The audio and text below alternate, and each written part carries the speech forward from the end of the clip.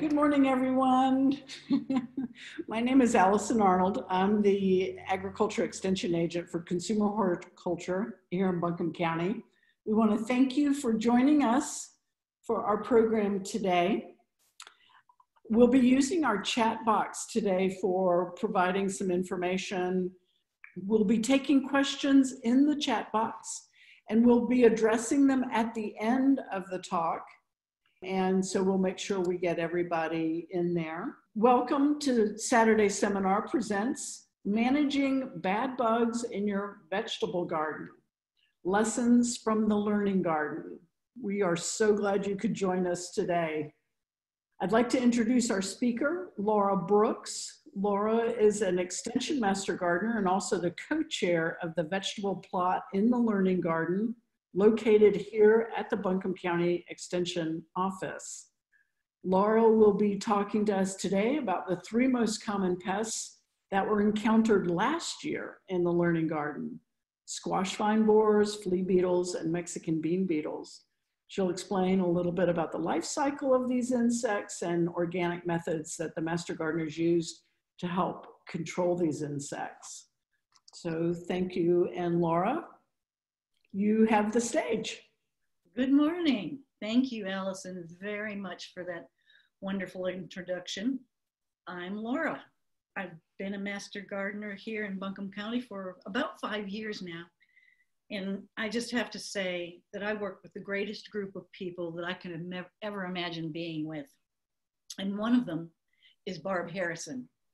Barb has been my friend, my mentor, my coworker, and completely invaluable in putting together this presentation. I certainly could not have done it without her. She, she's amazing, and she's going to be with me at the end of our discussion today, uh, helping to answer your questions because I know that you're going to ask me a few that I won't have the answers to. I'd like to say thank you so much for joining us today. And we, we're going to tackle the three worst pests we encountered in the vegetable learning garden over really the past couple of years, but boy, we had some doozies last year. I know this has been an interesting year for all of us. Between pandemic and politics, the one thing that's helped me stay centered is having that extra time to spend in my garden. I've even found peace in pulling weeds. And believe me, this is a first. When I was a little girl, my mother would pay me a penny a weed for pulling them out of our little center court garden in our house. Didn't take me long at all to realize there wasn't anything in the world I needed that cost more than 25 cents because that's as far as my attention span went or how many weeds I wanted to pull. If you're at all like me, I know one thing that'll disrupt my peace and tranquility is coming into the garden first thing in the morning to find out that the pests have invaded overnight and already are starting to destroy everything we've worked so hard on these past few months. I can't believe we're already late into June. So you probably or may be seeing some of these pests already. It may be too late to put into practice some of the things we're going to talk about, but hopefully you can tuck this information away for next year. And hopefully, unlike me, you'll be able to find out where you tucked it. I usually can't. The three major pests we're going to, um, we encounter year after year are the squash vine borer, the flea beetle, and the Mexican bean beetle. We're going to be discussing their life cycles, the appearance of these bugs, organic methods for control, and just a couple method, uh, chemical methods for control. First, the squash vine borer. Every time I see this slide, it reminds me of a really bad disease from an anatomy class that I had in, in college. I don't think I've ever met a gardener who hasn't planted squash or gourd sometimes in their lives. So my guess is that all of you are familiar with the squash vine borer, but if you're not, you soon will be. This slide is a section of the stem of a squash plant with the borer there in the center, making its way from the roots out towards the leaves. How can you tell if you've been attacked by the squash vine borer? Well, it's pretty easy. and it's usually too late if your plants look anything like this. The slide on the left here is what we call frass. Now, if you're not familiar with what frass is, to put it delicately, I call it the byproduct from when an insect or a borer has eaten your plant and what is left. Over on this side, this probably a few days ago was a very healthy and beautiful squash plant.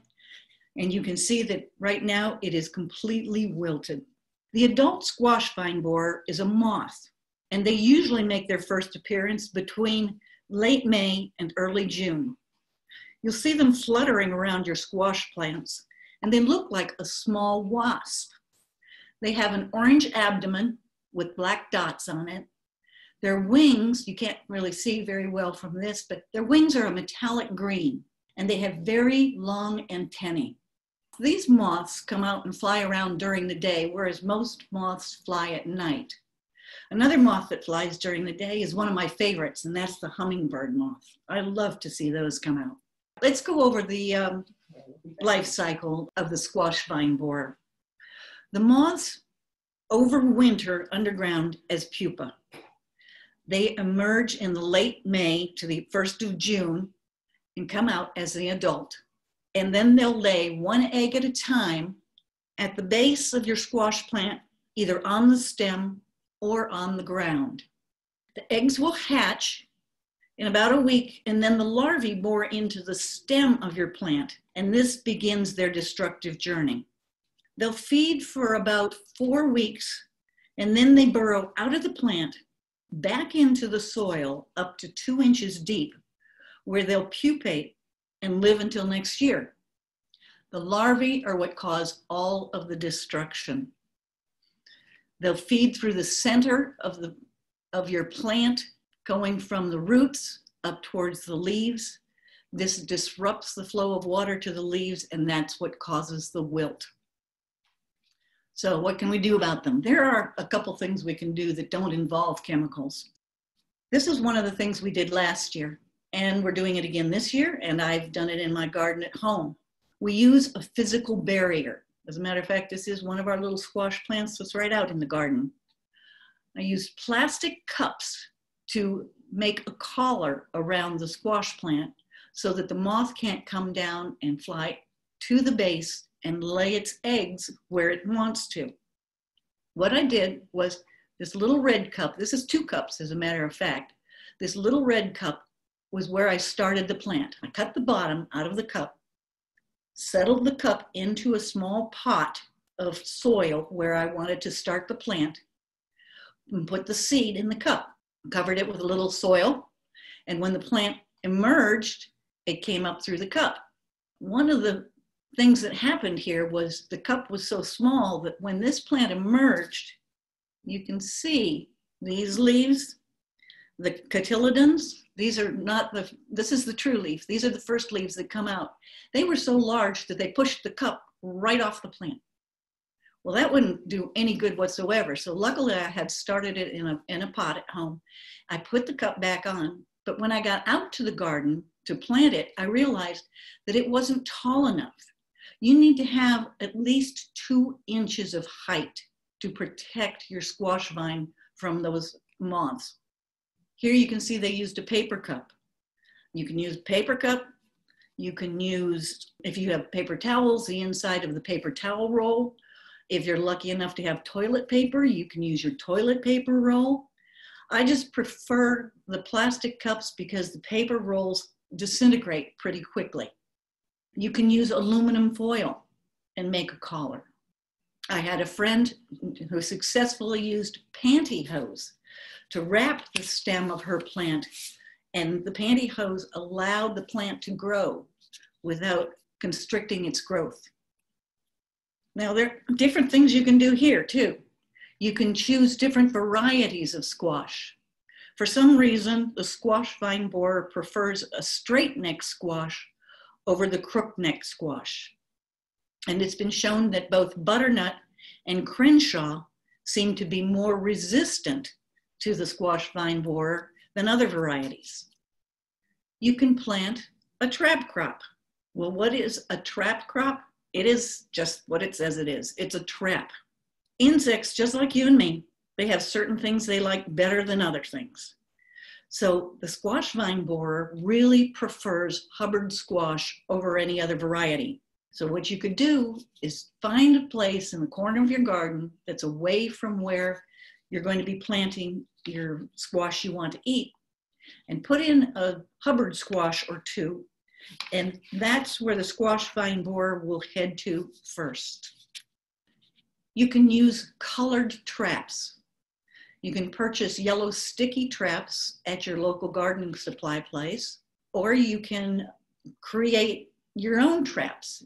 Get some yellow plastic cups, put a little bit of water in them, set them around your garden, and the moths will head towards those cups. They like the color yellow because it's the color of the flowers, and they'll fly down in them and drown. Bacillus thuringiensis are a naturally occurring bacterium, but it has to be eaten to cause mortality. So your application has to be generous and consistent so that the larvae will ingest it. And you put that at the base of your plant and um, on the soil. And then be sure to till the soil after every season to expose and kill the pupae. A wise man once said, an ounce of prevention is worth a pound of cure. I think that was Benjamin Franklin. Another thing you can do floating row covers will stop the adults from laying their eggs on your plants. Now, this says remove the covers at first bloom, but you don't have to do that because the first blossoms that come out on a squash plant are all male. You can tell the difference between the male and the female flowers because the males come out around the perimeter of the squash plant and they're on very long stems. And they're the larger of the flowers. The female flowers will be at the center of the plant and on, on very sh short stems, and that's where your fruit is going to develop. You can outweight the squash vine borer by planting summer squash in July. It makes sense because the uh, moths emerge from mid-May to early June. They lay their eggs, the eggs take a week to hatch. You have four weeks of feeding till they pupate. And so that would put you between the first week of July and July the 7th. If you start some seeds July the 1st, the larvae will be leaving the plants and going into the soil to pupate. And your plants will have July, August, and September to grow and produce because our last average frost date here in Buncombe County isn't until mid-October. Now you can use neem oil. Neem oil smothers the eggs, but the timing is very important. You have to catch the eggs and you apply it to the plant stems, not the leaves. And remember to always spray in the late evening or at night. Here we are, next little critter of destruction, the flea beetle. A couple quick facts about the flea beetles. They will attack many vegetables. These include the brassicas, or your cabbage family, such as radishes, turnips, broccoli, to name a few. They like the nightshade family of potatoes, tomatoes, peppers. And what I think their all time favorite is the eggplant. But they'll also feast on spinach, melons, and sweet corn. One plant I would like to add to this list, tomatillos. I forgot about those and I planted my tomatillos a couple weeks ago. It didn't take more than three days for the flea beetles to attack them. Luckily, they're recovering now. There are several species of flea beetles, with each one having their own preferred diet. Most of the beetles are very tiny, only about a 16th to an eighth of an inch long, with the exception of the spinach flea beetle, which is about a quarter of an inch long. And they come in all kinds of colors, black, bronze, brown, bluish, and even metallic gray. And some of them even have stripes. One thing they all have in common are the flea beetles have strong legs and they will jump at if you even look at them sideways. Now on this slide, you can see some of our flea beetles that have stripes and the adults feed on the leaves and the stems of your plant, making small holes. This slide over here on our left, bottom left, I think at one time was an eggplant, but it's really hard to tell at this point because they've turned it into what looks like very old lace. To understand the flea beetle, let's look at their life cycle. The flea beetles overwinter as adults in leaf litter, wooded areas, hedgerows, and windbreaks, which pretty much mean anywhere in our area. They emerge with quite the appetite, and nothing looks better to them than all those beautiful plants that we have so lovingly tended to in our garden. But here's a tip plants started from seed are less tolerant to flea beetle damage than transplants, but both can be severely damaged. The bigger the plant, the stronger the plant and thus are more able to withstand the damage done by the flea beetles. The females lay their eggs in small holes in the roots or on the leaves or on the soil around their preferred plant. Small white larvae will then hatch and go on to feed on the roots of your plant. The larvae transform into pupae, which then will grow into the adult. The flea beetles will produce one to two generations a year, and then ending their life cycle as an adult, where they go back and overwinter. It's the adult flea beetle that does the most damage by feeding on the leaves and the, and the stems. They create pits, small holes. Usually the holes are only an eighth of an inch, but the severe damage can stunt and kill your plants. It also makes eating your spinach or kale very unappealing. A couple things that we can do to help protect our crops from these very annoying pests. Rotate your crop. Colby Griffin, an extension agent in Franklin County, summed it up very well by saying, a combination of cultural practices and physical barriers work the best. Rotate your crops set out larger transplants, then water and fertilize your plants to encourage growth. Clean up the garden in the fall to prevent the habitat of, for the overwintering adults. Now, physical barriers. Here's a physical barrier that we uh, used last year in the garden. I have used it at home and it, it worked very well. This eggplant we brought into the garden and planted when it was only about six to eight inches tall. This is a tomato cage on the outside. There's a clothespin right there at the top. And this collar around here, this is really a collar that goes all the way up to the top of the tomato cage and encloses the eggplant. It's about two feet tall, and flea beetles can't jump that high. So we lowered the collar so that you could see the plant and, and see what good shape it's in. You can leave the collar up for as long as you want to because eggplants are of the variety that they're self pollinating. They do not have to have a pollinator come and uh, move it around for you to get fruit. Now, this is an eggplant we put in this, at the same time in another part of the garden that did not have any physical barriers. And you can see what happened to it. The poor little thing got eaten up by flea beetles. The plant is stunted, it's discolored, and eventually it just died and, and we had to pull it out. Another thing we did in another corner of the garden is we built a hoop house and we covered the entire house with row cover.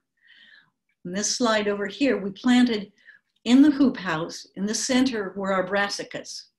On the outside, we planted spicy greens. Now, the spicy greens were put there to deter the rabbits because the rabbits will eat almost anything, but they didn't really care for the spicy greens. So that kept them out of our hoop house. And the cover kept the flea beetles out. For chemical controls, you can spray with Surround WP, which is really just a kaolin clay.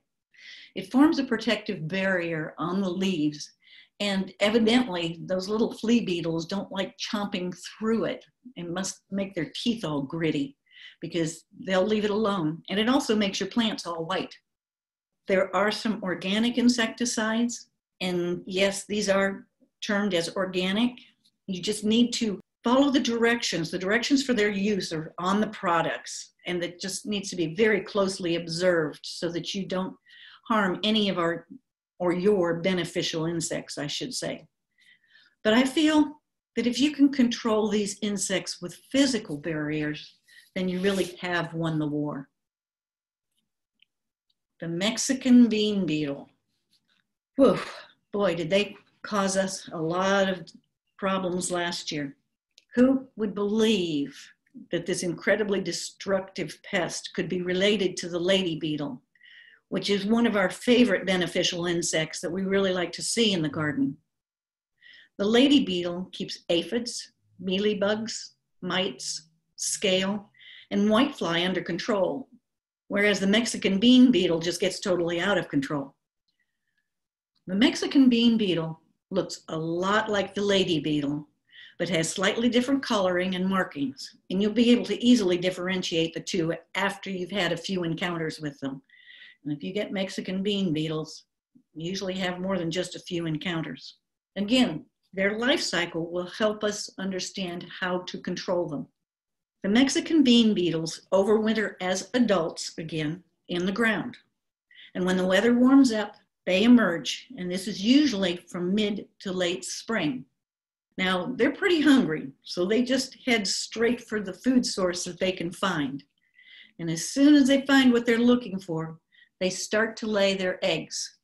And they lay little eggs on the underside of the leaves, depositing between 40 and 60 yellow eggs standing on end, just like little soldiers of destruction, which is what they are. Bean beetles, after they hatch, they have four stages of larvae. And even though they only produce one generation a year, they lay eggs all season long. And all stages of larvae and the adults feed on your plants. So they can produce a lot of beetles.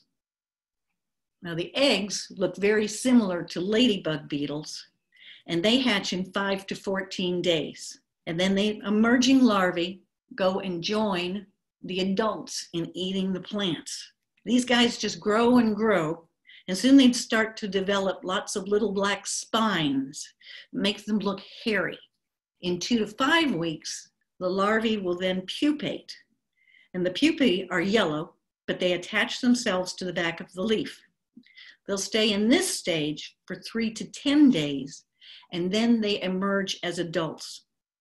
And the adults can live for four to six weeks. There is a lot of time that we are infested with bean beetles, and damage from all stages of the Mexican bean beetle can be seen most severely in the summer months. You can see what they do to the leaves, and here's some larvae You've got different stages. They just, they're, they're relentless. What can we do? Planting early will give you a head start. Look for a variety of bean that is very early maturing. There are some beans that mature in 50 days versus the beans that mature in 80 days. Monitor your plants. Check them often. The undersides of the leaves is where you'll find the yellow egg clusters, larvae, and adults. Crush them all by hand. Hand picking is a good thing. Do this as soon as you see any sign of them. Squish as many as you can. This could be therapeutic, I promise.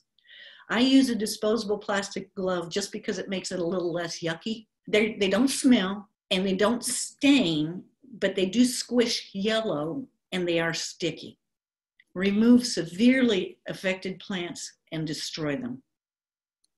Plant a trap crop. I mentioned this earlier with the squash vine borer, that they prefer the Hubbard squash. Well, in this case, you can plant a trap crop of soybeans. Soybeans will tolerate cooler and wetter weather conditions than regular green beans, so you can plant these earlier than you do your regular beans. Find a place away from where you're planting your beans and put in a little patch of soy. When the adults emerge from the soil, they're going to head straight for the soybeans.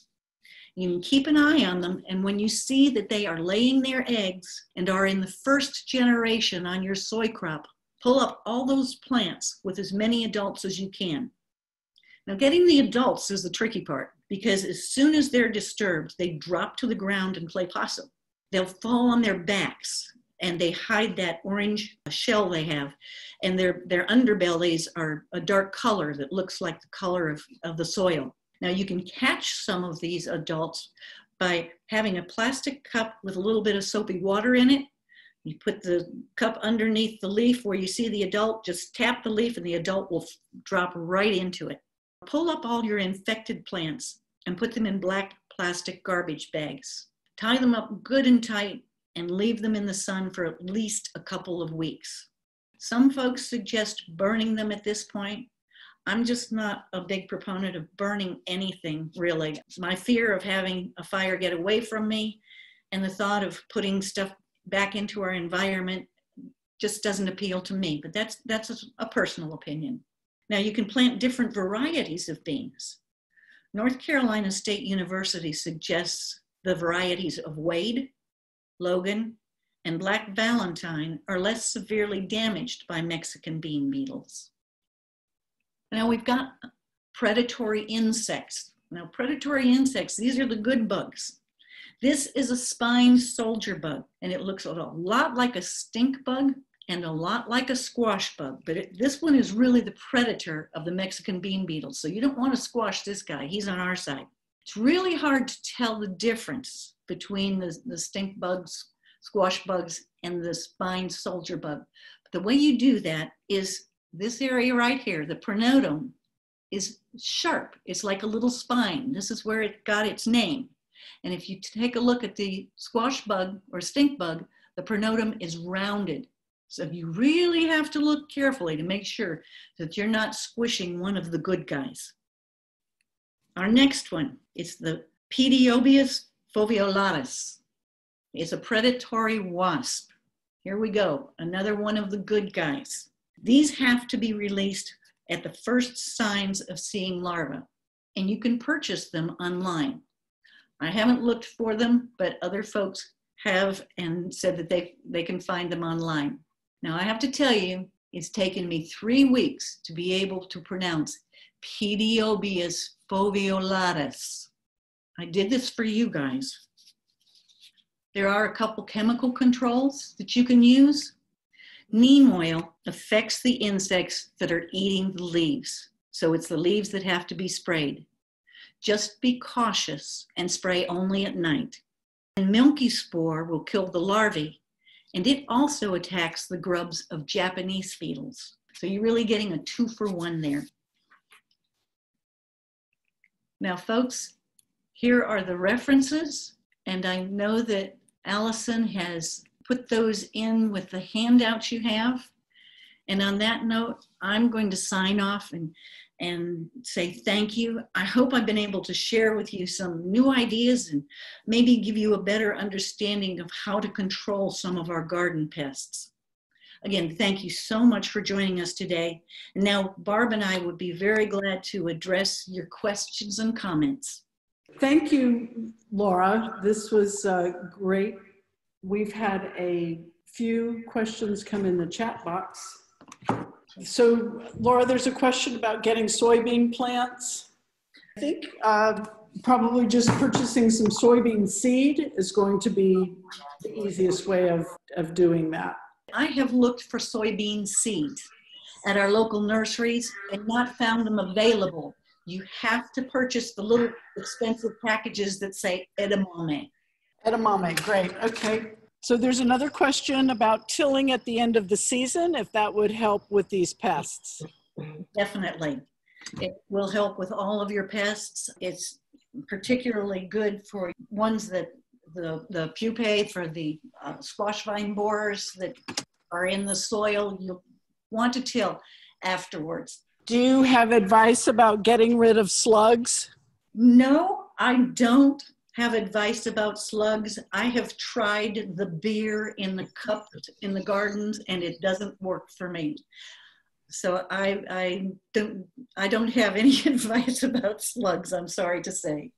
Laura, can you describe a little bit more about the aluminum foil at the base of the plant? Does it need to go below the soil level? Yes, thank you very much, Allison. It does. Anything you use as a protective barrier needs to be nestled into the soil because the moths will lay their eggs either on the stem or at the soil line right by the stem. So it needs to be nestled down into the soil so they can't get to that. There's a question also about rotating crops. How far do you actually need to move the plant? Your crop rotation, you just want it in the same spot you had. Um, as far as you, you, you know that you can't plant your tomatoes in the same place. You don't want to plant your um, peas and beans in the, in the same spot. So just picture yourself a different plot. And as far as distance goes, as long as it's not in the same soil, you should be in pretty good shape. But I imagine the further away you can get, the better. How big is your garden, right? Well, I want to thank everybody for joining us this morning. Also, uh, I want you to be aware that we are moving our Gardening in the Mountains and Saturday seminar program online, as we've done today. And to find those upcoming dates and topics, just go to mastergardener.org. We want to thank everybody for coming today and hope you stay safe and healthy and enjoy this summer solstice be out in the garden and enjoy the beautiful surroundings. We will be making the audio available uh, and those will be posted uh, at buncombemastergardener.org in the future.